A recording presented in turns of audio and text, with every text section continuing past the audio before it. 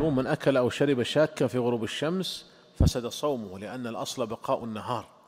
ومن أكل أو, شا أو شرب شاكا في طلوع الفجر صح صومه لأن الأصل بقاء الليل.